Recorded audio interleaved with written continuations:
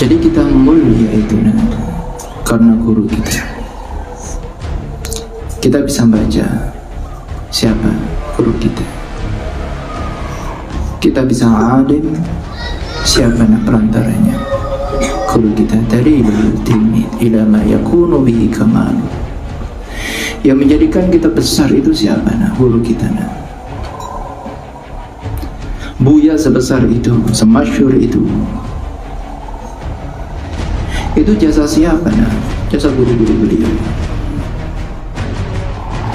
Jadi tentang ilmu syariat itu tidak bisa diremehkan Tidak bisa diremehkan Tidak bisa kita lebih alim dari guru kita akhirnya sombong kita merendahkan guru kita jatuh kita nah.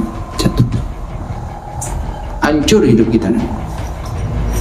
Seandainya guru kita itu mengajarkan alif bata sajin, kok tahunya yaitu hafal mungkin juz sama, tapi kalian hafal Al-Quran 30 juz. Kemudian kalian sombong, aku lebih pintar dari guru. Ujub kalian. Aku lebih alim daripada guruku. Guruku tidak ada apa-apanya. Harusnya guruku yang ikut aku, bukan aku yang ikut guruku. Kalau hati kita seperti itu, walaupun kenyataannya memang seperti itu, guru kita itu lebih lebih tidak alim daripada kita kenyataannya seperti itu tapi kok kita seperti itu?